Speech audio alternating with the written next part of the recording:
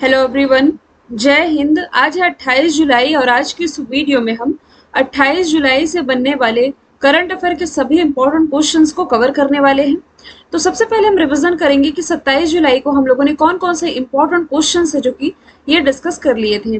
देखिए, कल मैंने आप लोगों को बताया था कि जो चाइना है, ये खुद का इंटरनेशनल स्पेस स्टेशन बनाने जा रहा है, जिसके लिए ये जो तीन मॉड्यूल भेजने जा रहा है, इसके क्रम में ये दूसरा मॉड्यूल भेज चुका है। अभी हाल ही में ई अमृत ऐप नीति आयोग ने लॉन्च किया है। इसके पहले ये ई अमृत पोर्टल भी लॉन्च कर चुका है। 69 सीनियर पुरुष राष्ट्रीय कबड्डी चैंपियनशिप 2022 ये जीती है इंडियन रेलवे ने। वैश्विक ऊर्जा पुरस्कार 2022 जीता कौशिक राजशेखर ने। वोडाफोन आइडिया के नए सीईओ अक्षय मुंद्रा बने हैं और वर्ल्ड बैंक के जो नए मुख्य अर्थशास्त्री है, ये भारतीय मूल के इंदर मिडगिल बन गए हैं। सकुराजिमा ज्वालामुखी, इसमें विस्फोट हुआ है। ये जापान का एक सक्रिय ज्वालामुखी है। अभी हाल ही में फ्रेंच ग्रैंड पिक्स जीत ली है मैक्स वर्स्टअपर ने और अभी हाल ही में कारगिल विजय दिवस 26 जुलाई को मनाया गया। कारगिल वॉर ये 26 ये 1999 में हुआ था 1999 में, जब प्राइम मिनिस्टर अटल बिहारी वाजपेयी जी थे। केरल के सर्वोच्च फ़िल्म पुरस्कार जेसी डेनियल अवार्ड से सम्मानित किया गया है। के पी कुमारन को ये सभी महत्वपूर्ण क्वेश्चंस हम लोगों ने कल पढ़ लिए थे।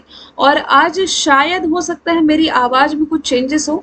कल टेलीग्राम में और यूट्यूब में आठ, साढ़े आठ बजे के आसपास मैंने एक पोस्ट किया था कि मेरी तबीयत ठीक नहीं लग रही है, जिसके कारण मैं अट्ठाईस जुलाई का करंट अफेयर नहीं बना पाऊँगी। लेकिन फिर उसके बाद दवाई ली मैंने दो घंटे बाद थोड़ा सा सही लगने लगा तो साढ़े ग्यारह बजे तक मैंने आप लोगों के लिए कंटेंट प्रिपेयर किया। फिर लगा कि थोड़ा सही लग रहा है तो आप लोगों की भी क्लास मिस ना हो, इसलिए वीडियो डाल देना चाहिए। आज की क्लास थोड़ा सा यदि आवाज़ में चेंज आप लोगों को लग रहा होगा ना तो आज मैं फ़ैन ऑन करी हूँ। मतलब कि आज पंखा चल रहा है और पंखा चलते चलते मैं ये वीडियो रिकॉर्ड कर रही हूँ, क्योंकि पहले भी मैं बताई कि मैं हिल स्टेशन में रहती हूँ। मतलब वेदर समझ रहे हैं इस समय सावन का कैसा वेदर है, कि हफ़्ते हफ़्ते भर हो जा रहे हैं, सूर्य भगवान के दर्शन नहीं हो रहे हैं, बस बारिश बारिश बनी हुई है, धूप आएगी तो धूप ही रहती है ना? तो वो ठंडी और गर्मी का जो ये एक मिक्सचर हो रहा है, इसके कारण मतलब वेदर ऐसा बन रहा है जिसके कारण थोड़ा सा फीवर हो गया था। तो खैर, कोई बात नहीं क्लास तो हो गई ना आज आप लोगों की, उसका कोई प्रॉब्लम नहीं है, बस यही बताना चाह रही थी, आवाज़ में यदि कोई इश्यू होगा तो ये फ़ैन के कारण है थोड़ा सा आप लोग मैनेज करिएगा। स्टार्ट करते हैं आज का हमारा पहला और इम्पोर्टेंट क्वेश्चन 2024 के बाद कौन सा जो देश है इंटरनेशनल स्पेस स्टेशन इस परियोजना से हट जाएगा। इस क्वेश्चन को आप कल वाले पहले क्वेश्चन से रिलेट कर पाओगे तो बेहतर समझ पाओगे कि जो रशिया है, ये इंटरनेशनल स्पेस स्टेशन से एग्जिट हो रहा है। देखिए, ये जो इंटरनेशनल स्पेस स्टेशन है ना, ये पाँच देशों की जो स्पेस एजेंसी है, इनके द्वारा स्थापित किया गया था। ये पाँच देश है कौन कौन से? माफ़ कीजिएगा। एक तो अमेरिका की ही स्पेस एजेंसी है नासा जापान की स्पेस एजेंसी है, जैक्सा। रशिया की स्पेस एजेंसी, रॉस कॉस्मोस।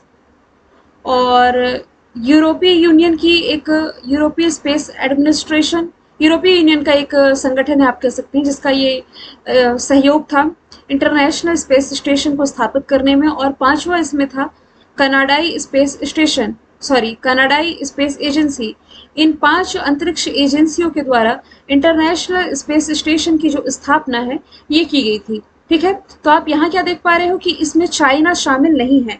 मतलब कि चाइना के जो स्पेस एजेंसी है, चाइना नेशनल स्पेस एडमिनिस्ट्रेशन ये इसमें शामिल नहीं है। इसलिए तो कल मैंने फ़र्स्ट क्वेश्चन में ही आप लोगों को बता दिया था कि चाइना अब अपना खुद का अंतरिक्ष स्टेशन स्थापित करने जा रहा है। खुद के रिसर्च के काम ये अपना पर्टिकुलर यहाँ कर सकेगा। अब ये जो इंटरनेशनल स्पेस स्टेशन है, कल भी मैंने बताया था, ये होता क्या है?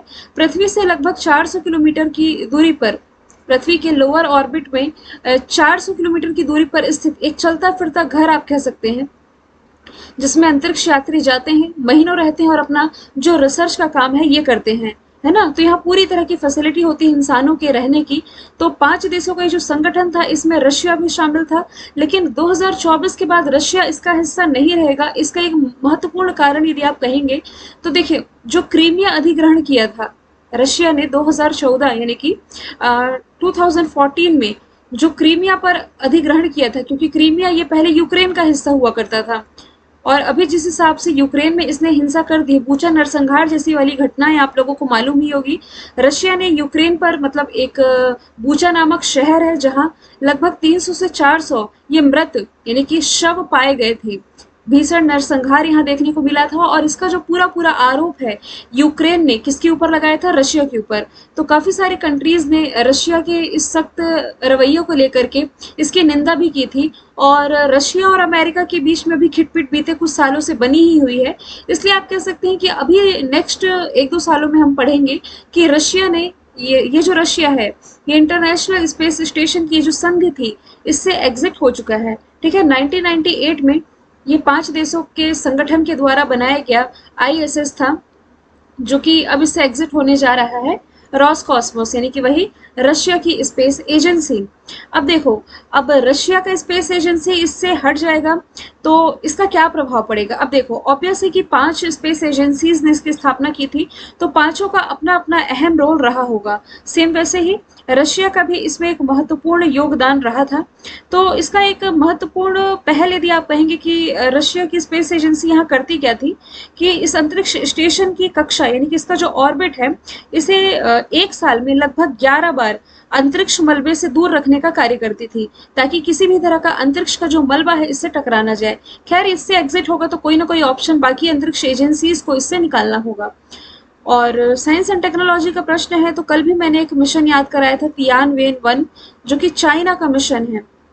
फिर यदि आप रिलेट करोगे तो रशिया के द्वारा कुछ आप साइंस एंड टेक्नोलॉजी से रिलेट करोगे तो दुनिया का पहला अंडर वाटर टेलीस्कोप जो है, ये चाइना के द्वारा लगभग एक से डेढ़ साल पहले ही लॉन्च किया गया था।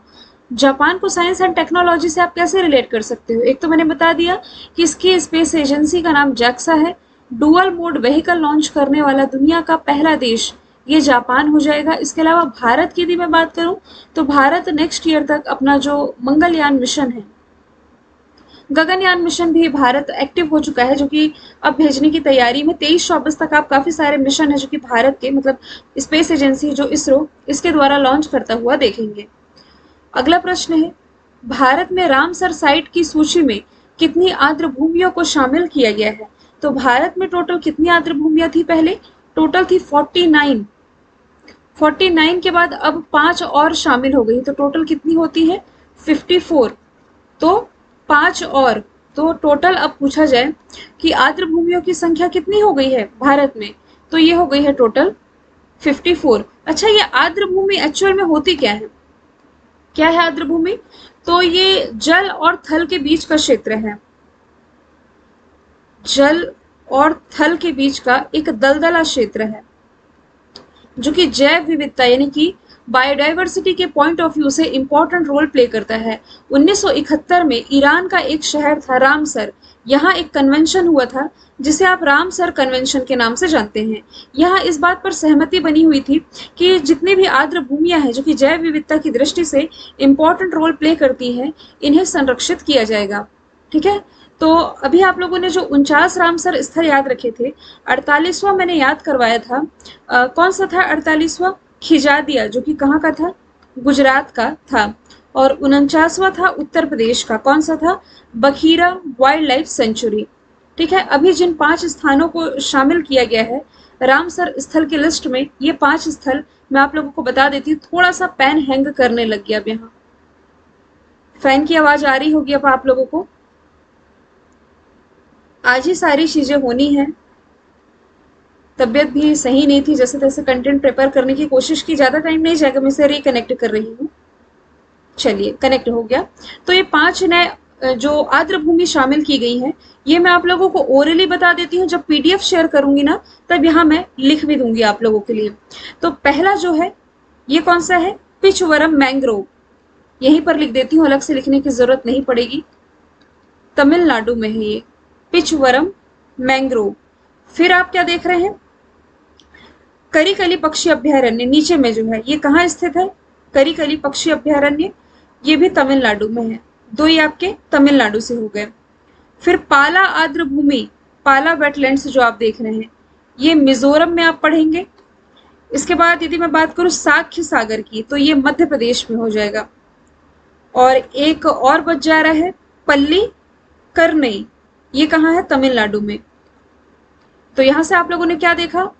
इन पाँच में से तीन रामसर स्थल, यानी कि जो आर्द्र भूमिया है, ये तमिलनाडु से सिलेक्ट की गई है, एक मध्य प्रदेश से और एक मिजोरम से। यहाँ से आप लोगों को इंपॉर्टेंट ये याद रख लेना है कि भारत का ऐसा पहला कौन सा स्थल था जिसे रामसर लिस्ट में ऐड किया गया था? तो ये था चिल्का लेक, उन्नीस सौ इक्यासी में इसे शामिल किया गया था। चिल्का लेक है, कहाँ तो ये ओडिशा में हो जाएगा। भारत में सबसे खारे पानी की लेक यही हो जाएगी, यही है। और सबसे मीठे पानी की तो बूलर लेक है जम्मू कश्मीर में आप लोगों को मालूम है। देखिए, यदि आप लोग एक महीने से भी मेरी क्लास ले रहे हैं, वैसे कुछ पुराने स्टूडेंट तो कब से ऐड है, लेकिन जो एक महीने से ले रहे हैं, उन्हें भी ये चीज़ मालूम होगी कि अभी तो कोई जनगणना है, जो कि चिल्का लेक में शुरू हुई है। याद नहीं आ रहा हो तो चलो बता भी देती हूँ, बस रिलेट करना मेरा पर्पज था। अभी कोई फ़िश कैट सेंसस की शुरुआत, जो कि दुनिया में ऐसी पहली है, इसी चिल्का लेक से शुरू की गई है, ठीक है? अगला प्रश्न है, किस नेशनल पार्क को इंटरनेशनल रेंजर अवार्ड 2022 से सम्मानित किया गया है? तो ओरंगा नेशनल पार्क, जो कि कहाँ स्थित है? असम में स्थित है। इसे अभी हाल ही में इंटरनेशनल रेंजर अवार्ड आईओसीएन और डब्ल्यू के द्वारा ये अवार्ड दिया गया है। क्यों दिया गया है? तो जंगली जानवर और जो जंगली स्थान है वन्य जीवों की रक्षा करने में इन्होंने जो अपना कंट्रीब्यूशन दिया है, इसके लिए इस नेशनल पार्क को सम्मानित किया गया है। हालाँकि ये टाइगर रिज़र्व भी है। प्रोजेक्ट के प्रोजेक्ट टाइगर के तहत इसे शामिल भी किया गया है। औरंगा नेशनल पार्क के बारे में यदि मैं बात करूँ तो असम का सबसे पुराना वाइल्ड लाइफ सेंचुरी है और इसे मिनी काजीरंगा के रूप में भी जाना जाता है। 1985 तक ये अभ्यारण्य था। 1999 में ये राष्ट्रीय उद्यान घोषित कर दिया गया। ठीक है तो विजेता के रूप में अभी इसे दस हज़ार डॉलर भी मिलेंगे। किसे? औरंगा नेशनल पार्क को। सिंगलीला नेशनल पार्क कहाँ स्थित है? तो ये पश्चिम बंगाल में स्थित है। अभी क्यों चर्चे में आया था? क्योंकि यहाँ अभी हाल ही के दिनों में 20 लाल पांडा छोड़े जाने हैं, ठीक है? जो कि संकटग्रस्त है। कान्हा नेशनल पार्क के बारे में यदि मैं बात करूँ तो ये मध्य प्रदेश में है। एरिया वाइज मध्य प्रदेश का सबसे बड़ा नेशनल पार्क यही हो जाएगा। Jim Corbett National Park Uttarakhand में है।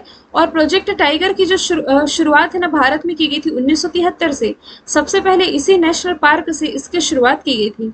अगला प्रश्न है, हाल ही में किस बोर्ड ने, किस क्रिकेट बोर्ड ने भारतीय अंपायरों के लिए एक नई कैटेगरी ए प्लस की पेशकश की है?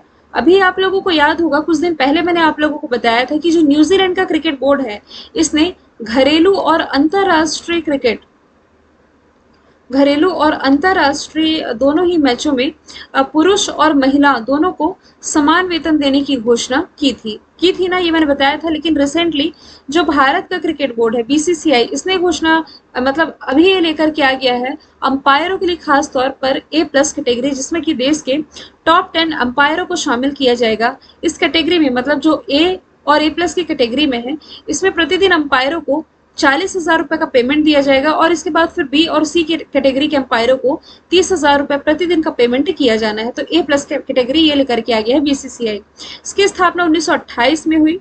मुंबई महाराष्ट्र में हेडक्वार्टर इसके उनतालीसवें क्रम के जो अध्यक्ष है, सौरभ गांगुली है और सेक्रेटरी हो जाएँगे जय शाह जो कि अमित शाह जी के बेटे हैं। अगला प्रश्न है, भारत का पहला सर्व महिला सहकारी बैंक कहाँ स्थापित किया जाएगा? सर्व महिला सहकारी कहने का क्या मतलब है? कहने का मतलब है कि पूरी तरह से महिलाओं द्वारा संचालित ये जो पहला सहकारी बैंक है, ये राजस्थान में स्थापित होने जा रहा है। तेलंगाना का जो स्त्री निधि था ना, इसी के तर्ज पर राजस्थान में महिला निधि की स्थापना है जो, ये की जानी है। तो यह समय पर लोन की सुविधा प्रोवाइड कराएगा, महिलाओं को सशक्त बनाने का कार्य करेगा। ये जो सहकारी बैंक है, पूरी तरह से महिलाओं द्वारा संचालित किया जाना है। ठीक है?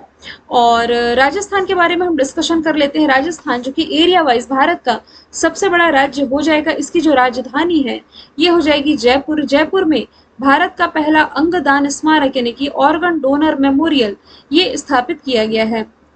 यहाँ के इम्पोर्टेंट नेशनल पार्क मैंने आप लोगों को याद करा रखे हैं।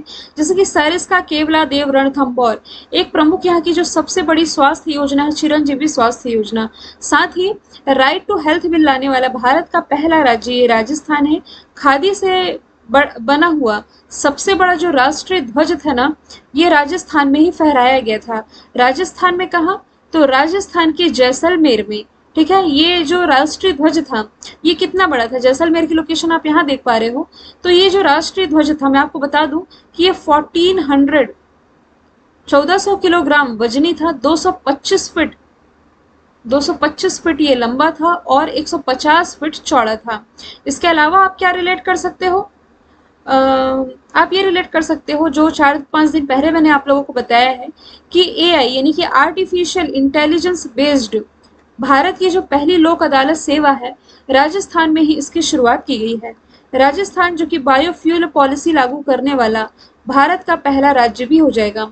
महिलाओं से रिलेटेड आप ये ऑप्शन को रिलेट कर सकते हो कि तेलंगाना की जो राजधानी है, हैदराबाद, यहाँ अभी जो अंतर्राष्ट्रीय महिला दिवस मनाया गया आठ मार्च को, इसी मौके पर पूरी तरह से महिला द्वारा संचालित एक औद्योगिक पार्क है जो, इसकी स्थापना इसी हैदराबाद में की गई है। ठीक है? और इसके अलावा गुजरात से आप क्या रिलेट करोगे? गुजरात से आप ये रिलेट कर सकते हो कि बालिका पंचायत स्थापित करने वाला जो भारत का पहला राज्य है, ये भी हाल ही में गुजरात बना है। और हरियाणा हरियाणा से आप ये रिलेट कर सकते हो, भारत का पहला ग्रेन एटीएम और जो पहला हेलीपोर्ट सुविधा है, यहीं से शुरू की जानी है।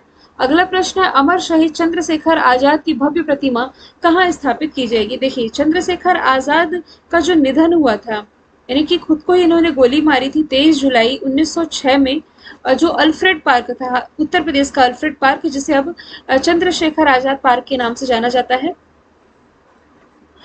तो इनकी जो प्रतिमा है, ये स्थापित की जानी है कहाँ? भोपाल में। मध्य प्रदेश के जो मुख्यमंत्री हैं शिवराज सिंह चौहान इनके द्वारा इसकी घोषणा की गई है क्योंकि इनका जो जन्म है ये भाबरा नामक ग्रा, ग्राम में हुआ था जो कि मध्य प्रदेश में स्थित है। काफ़ी कम उम्र में ये कुर्बानी दे दी थी इन्होंने देश के लिए। तो इन्हीं के सम्मान में इनके लिए प्रतिमा स्थापित की जानी है। भोपाल इसे सिटी ऑफ़ लेक कहा जाता है। कहाँ का city of lake Madhya Pradesh का। वैसे सिटी ऑफ़ लेक के नाम से आप उदयपुर को पढ़ते हैं। इसके अलावा यदि आप रिलेट करोगे तो जो एमपी से स्टूडेंट मेरा ये वीडियो देख रहे हैं, आपको ये बेसिक मालूम होना चाहिए कि जो भोपाल है, प्राचीन भोपाल की स्थापना राजा भोज ने और नवीन भोपाल की स्थापना दोस्त मोहम्मद खान ने की थी। श्रीनगर श्रीनगर से आप ये रिलेट कर सकते हो कि ये झेलम नदी के किनारे बसा हुआ है। इसी झेलम नदी के किनारे बसे श्रीनगर में अभी हाल ही में गृह मंत्री अमित शाह ने स्टेच्यू ऑफ़ पीस का अनावरण किया। Statue of peace Srinagar statue of unity जो कि सरदार पटेल की प्रतिमा है, ये गुजरात के केवड़िया में स्थापित किया गया। यहाँ अहमदाबाद लिखा हुआ है मॉडिफाई कर दूँगी मैं गुजरात के केवड़िया कॉलोनी में इसका जो स्थापना है, ये की गई थी। वैसे अहमदाबाद भी ठीक ही आप लोगों ने याद रखा है। तेलंगाना के हैदराबाद में सरदार सरदार नहीं रामानुजाचारी की जो प्रतिमा है स्टेच्यू ऑफ़ नॉलेज तो नहीं स्टेच्यू ऑफ़ इक्वालिटी है, क्योंकि स्टेच्यू ऑफ़ नॉलेज ये महाराष्ट्र की लातूर में, सरदार सॉरी भीमराव अंबेडकर जी की प्रतिमा है महाराष्ट्र में statue of knowledge statue of equality है हैदराबाद में स्टेच्यू ऑफ़ यूनिटी गुजरात में स्टेच्यू ऑफ़ पीस श्रीनगर में। अगला प्रश्न, कौन सा देश 2025 में आईसीसी महिला वनडे वर्ल्ड कप की मेजबानी करेगा? तो 2020 का जो मेजबान देश है, ये अपना ही देश भारत है। अभी हाल ही में आईसीसी ने 2024 से लेकर के 27 तक के लिए जो महिला वनडे इसके लिए चार देशों को चयन कर दिया है भारत, बांग्लादेश, इंग्लैंड और श्रीलंका। 2026 में इंग्लैंड में आयोजित किया जाएगा 2024 में बांग्लादेश में 2025 में भारत में और 2027 में श्रीलंका में यह आयोजित होना है। ठीक है? तो यदि मैं बात करूँ आईसीसी की इंटरनेशनल क्रिकेट काउंसिल की 1909 में इसकी स्थापना हुई। दुबई यूएई में हेडक्वार्टर हो जाएगा और ग्रेग बार्कले जो कि न्यूजीलैंड से बिलोंग करते हैं, ये हो जाएँगे इसके अध्यक्ष। आईसीसी के द्वारा जो सॉरी जो मेंस वर्ल्ड कप है आईसीसी मेंस वर्ल्ड कप 2023 ये इंडिया होस्ट करेगा। जबकि आईसीसी का जो अभी हाल ही में वुमेन्स वर्ल्ड कप संपन्न हुआ है, ये न्यूजीलैंड में संपन्न हुआ है, जिसमें कि विनर कौन रही थी? विनर रही थी ऑस्ट्रेलिया, कतर। ये फीफा मेंस वर्ल्ड कप की मेजबानी कर रहा है इस साल। फीफा मेंस वर्ल्ड कप 2022 कौन होस्ट कर रहा है? कतर। इससे जो नेक्स्ट होगा 2026 में इसे तीन कंट्री मिलकर होस्ट करेंगी यूएसए मैक्सिको और कनाडा अभी हाल ही में वर्ल्ड एथलेटिक्स चैंपियनशिप जिसमें कि नीरज चोपड़ा ने सिल्वर मेडल जीता है तो इसका जो आयोजन है, ये अमेरिका में किया गया है। अंतिम प्रश्न है आज का, क्योंकि तबियत खराब थी, बहुत ज़्यादा कंटेंट में सर्च नहीं कर पाई, तब भी आठ क्वेश्चन मैंने आप लोगों के लिए ढूंढ लिए हैं कि दुनिया की सबसे सॉरी दूसरी सबसे ऊँची चोटी केटू को फतह करने वाले, पहले बांग्लादेशी कौन बने? अभी हाल ही में जो वसीफा नजरीन है, ये केटू पर, की, केटू की ऊंचाई पर पहुँचने वाली पहली बांग्लादेशी बन गई हैं। और ऐसा करने वाली मतलब कि देखो वसीफा नजरीन ने 2012 में माउंट एवरेस्ट, जो कि दुनिया की सबसे ऊँची चोटी है, नेपाल में स्थित है। नेपाल में इसे सागर माथा के नाम से जाना जाता है। नेपाल पर भी इन्होंने चढ़ाई की थी। और फिर हम बात कर रहे हैं केटू की। देखो, जम्मू कश्मीर में ना, यहाँ काराकोरम जो दर्रा है, काराकोरम दर्रे के पास ही केटू गॉडविन ऑस्टिन चोटी आप लोगों ने देखी होगी। मुझे मैपिंग अच्छे से नहीं आती मतलब मैपिंग पढ़ा लेती हूँ, लेकिन बनाना मुझे अच्छे से नहीं आता। तो केटू पर इन्होंने चढ़ाई कर ली है। वसीफा नजरीन जो कि बांग्लादेश से बिलोंग करती हैं। वैसे ये जो केटू है इस पर चढ़ाई करने वाले दुनिया के सबसे आ, कम उम्र के व्यक्ति सहरोज कासिफ बने थे। पिछले साल इन्होंने चढ़ाई करी थी। तो ये काराकोरम रेंज में स्थित है। गॉडविन ऑस्टिन के नाम से इसे जाना जाता है। 8,611 फीट की ऊंचाई पर ये स्थित हो जाएगी। नकोजी अंकोजी ये नाइजीरिया से बिलोंग करती हैं और ये अभी हाल ही में वर्ल्ड ट्रेड ऑर्गेनाइजेशन की अध्यक्ष बनी है। वर्ल्ड ट्रेड ऑर्गेनाइजेशन की पहली महिला अध्यक्ष और पहली अफ्रीकी भी आप कह सकते हैं। सारा गिल बिलोंग करती पाकिस्तान से। पाकिस्तान की पहली महिला मतलब पहली ट्रांसजेंडर डॉक्टर बनी है। तशनुआ सरीर ये बांग्लादेश से ही है और पहली ट्रांसजेंडर न्यूज़ एंकर ये बनी थी लास्ट ईयर। मैंने कल आप लोगों से पूछा था इंटरनेशनल हॉकी फेडरेशन का जो वुमेंस वर्ल्ड कप 2022 है, इसका खिताब किसने जीता? नीदरलैंड राइट आंसर था। आज का सवाल है, भारत का पहला ई वेस्ट इको पार्क कहाँ बनाया जाएगा? इसका आंसर कमेंट बॉक्स में बताइएगा। यदि आज वॉइस का कुछ इश्यू हुआ होगा तो माफ़ कीजिएगा। बहुत मुश्किल से मैं ये वीडियो बना पाई हूँ आप लोगों के लिए, ताकि क्लास आपकी मिस ना हो। यदि मेरी कल तबीयत ठीक नहीं रहेगी तो कल की क्लास हो सकता है मिस हो जाए। लेकिन उम्मीद करती हूँ कि कल भी मैं अच्छी रहूँ वेदर सही रहे और तबीयत भी अच्छी रखूँ ताकि आप लोगों का जो ये कंटिन्यू क्लास लेने का फ्लो बना हुआ है, ये टूटे ना। ठीक है, फिर मिलेंगे नेक्स्ट वीडियो के साथ। Thank you so much